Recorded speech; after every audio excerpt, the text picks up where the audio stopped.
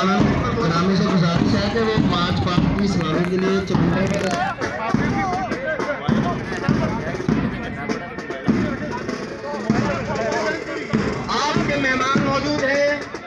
के कॉलेज की टीम मौजूद है, खिलाड़ी मौजूद है तालियाँ बजाकर मेहमाना ने ग्रामीण का इस्तेमाल कीजिए तलकों से गुजारिश है, भरपूर तालियाँ बजाएँ।